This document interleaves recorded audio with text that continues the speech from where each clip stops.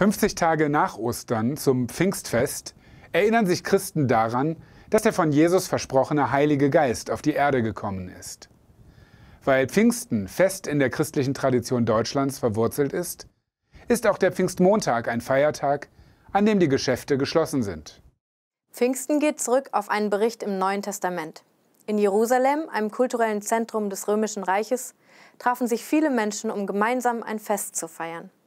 Die Freunde von Jesus hatten sich in einem Haus versammelt, als etwas Seltsames und Wunderbares geschah. Die Bibel berichtet in Apostelgeschichte 2, Plötzlich hörte man ein mächtiges Rauschen, wie wenn ein Sturm vom Himmel herabweht. Das Rauschen erfüllte das ganze Haus, in dem die Jünger waren. Dann sah man etwas wie Feuer, das sich zerteilte, und auf jeden von ihnen ließ sich eine Flammenzunge nieder. Alle wurden vom Geist Gottes erfüllt und begannen in verschiedenen Sprachen zu reden, jeder, wie es ihm der Geist Gottes eingab. Und die vielen Menschen, die nach Jerusalem gekommen waren, waren sehr erstaunt und riefen, Die Leute, die da reden, sind doch alle aus Galiläa. Wie kommt es, dass wir sie in unserer Muttersprache reden hören? Zu Pfingsten erhielten die Christen den Heiligen Geist. Das bedeutet, Gott lebt in ihnen. Die kleine ängstliche Gruppe von Jüngern sprach plötzlich in verschiedenen Sprachen von Gottes großen Taten. Von nun an sollten alle Menschen auf der Welt von der großen Liebe Gottes hören. Schnell sprach sich diese gute Nachricht herum.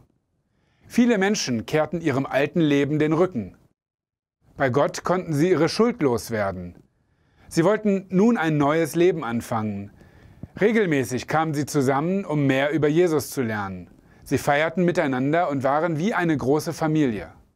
Pfingsten war somit der Geburtstag der weltweiten christlichen Gemeinde oder Kirche. Diese bestand von Anfang an aus Menschen unterschiedlicher Herkunft. Seit dem dritten Jahrhundert wird das Pfingstfest gefeiert. Immer am 50. Tag nach Ostern.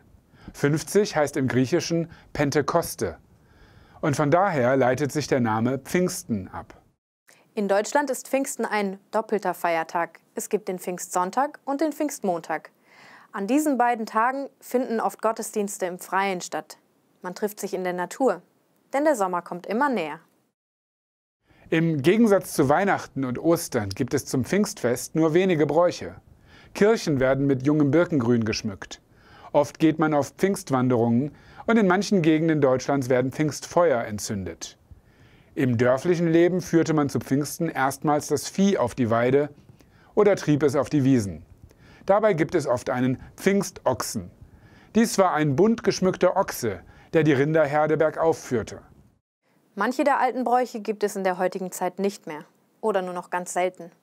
Als Fest des Heiligen Geistes ist es auch ein Fest der Hoffnung und der Freude. Und beides können wir auch heute in unserer Welt gut gebrauchen.